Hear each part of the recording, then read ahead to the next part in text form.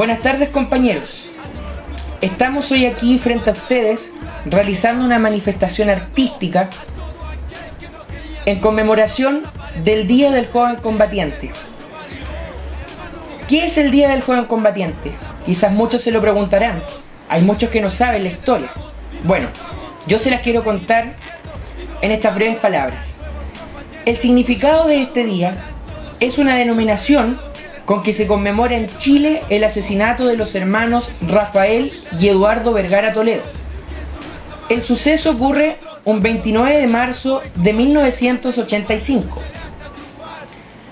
Ese día, dos jóvenes son asesinados en un operativo realizado por agentes de carabineros en la población Villa Francia, un barrio ubicado en la comuna de Estación Central, caracterizado por una particular historia de resistencia ciudadana durante la última década de la dictadura militar. En aquel entonces, los medios de comunicación controlados por la dictadura fascista, informaron que los hermanos Vergara Toledo se aprestaban a asaltar un almacén local cuando un grupo de carabineros compuestos por Francisco Toledo Puente, Jorge Marín Jiménez, Mauricio Muñoz y Fuentes y el subteniente Alex Hambre Hinojosa los habrían encontrado cometiendo el delito, a lo cual procedieron a dispararles. No obstante, y como consta en la carta recibida por el general director de carabineros de aquel entonces, Rodolfo Strange Olkers, estas informaciones resultaban confusas y contradictorias. No coincidía el lugar de los hechos, la situación en que se habrían producido los acontecimientos, esto es, antes, durante o después del supuesto atraco, ni el tipo de enfrentamiento ocurrido. Inclusive, no existió denuncia alguna por asalto en el sector ni tampoco un informe correspondiente. Con estos antecedentes, la Comisión Nacional de Verdad y Reconciliación concluye con las siguientes palabras que voy a citar. La Comisión ha llegado a la convicción de que Rafael Vergara fue ejecutado por agentes estatales estando ya herido y en poder de quienes lo mataron, en violación completa de sus derechos humanos. Respecto de su hermano, Eduardo Vergara, no pudiendo la comisión determinar las circunstancias precisas en que se produjo el enfrentamiento, ni la participación que él hubiera tenido, considera que pereció víctima de la situación de violencia política. En otras palabras, los hermanos habrían sido asesinados en momentos y lugares distintos, aunque en hechos completamente relacionados, con lo que se descarta la teoría del asalto. En mayo del 2008, el ministro en visita Carlos Gajardo dictó condenas por homicidio para los sex uniformados, la cual fue apelada, encontrándose actualmente los acusados en libertad bajo fianza.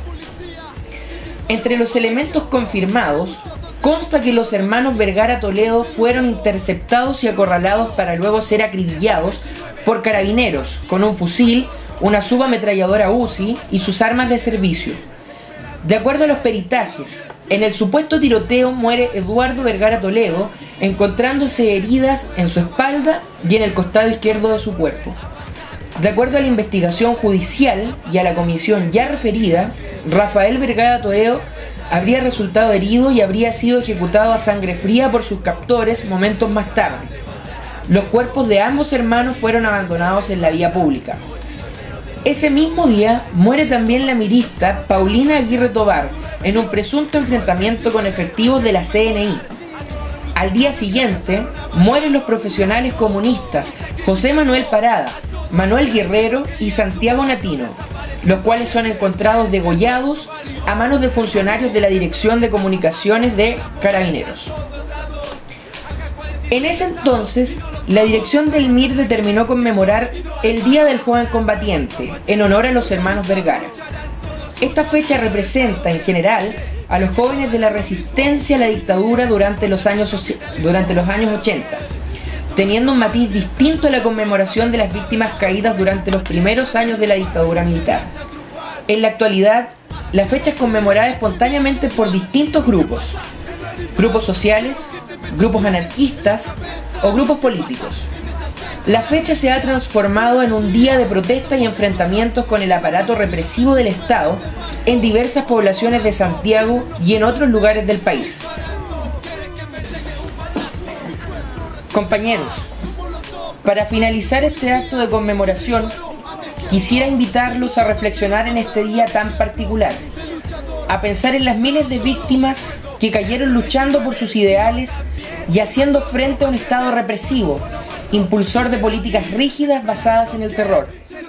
Señalar de la misma forma que el Estado de hoy en día es fiel reproductor de ese mismo sistema.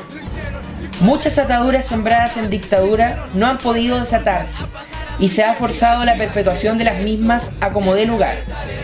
Muchas gracias a todos por escuchar estas palabras y como dirían en ese entonces, hasta la victoria siempre